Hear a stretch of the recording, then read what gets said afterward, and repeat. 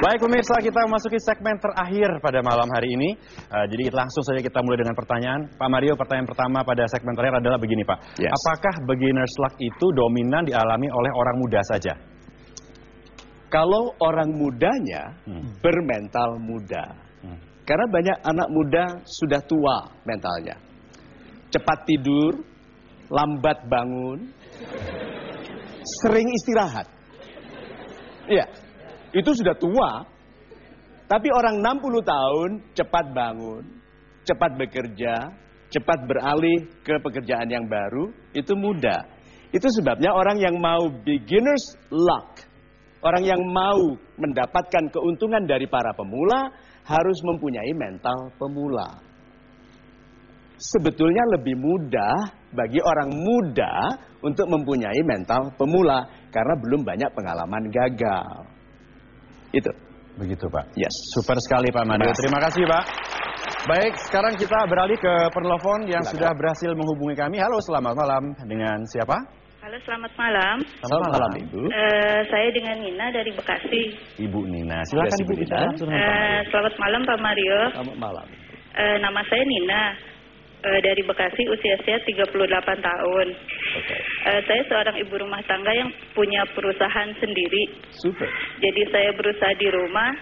Saya seorang supplier. Good. Saya belajar sendiri eh, merangkap direktur pimpinan dan kurir. Super Jadi saya eh, karena kepepet, jadi saya memberanikan diri eh, untuk eh, bikin arrange appointment dengan beberapa eh, orang di perusahaan. Kemudian sudah dapat janji, saya memberanikan diri untuk bertemu, untuk menawarkan produk yang saya pasarkan. Eh, terkadang saya karena nggak punya pengalaman marketing, saya sendiri ketakutan sendiri. Padahal saya sudah diundang orang untuk ketemu di perusahaan itu. Eh, mohon pendapat Bapak, bagaimana caranya supaya saya punya kepercayaan diri eh, kalau saya sudah ada janji dengan orang, apa yang harus eh, tindakan saya yang harus saya lakukan?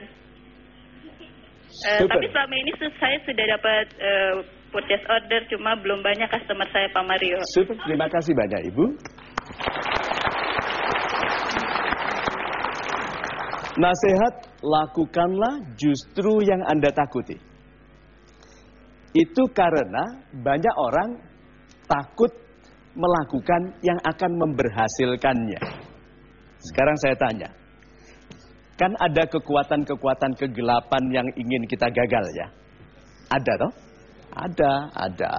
Nah kalau Tuhan merencanakan kita berhasil melakukan satu hal, apa yang dilakukan oleh kekuatan kegelapan itu? Membuat kita syak, was-was, takut, ragu. Jadi kalau Anda takut melakukan sesuatu yang baik, Anda harus tahu itu upaya mencegah Anda melakukan sesuatu yang akan memberhasilkan. Do exactly the things you're afraid to do.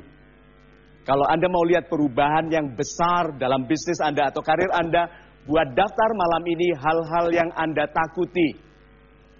Lalu rencanakan kapan Anda melakukan yang pertama. Menelpon orang itu, mulai dari sekarang gemeteran ditaruh dulu. Gitu kan? Sebentar baca doa gitu kan, bakar kemenyan gitu.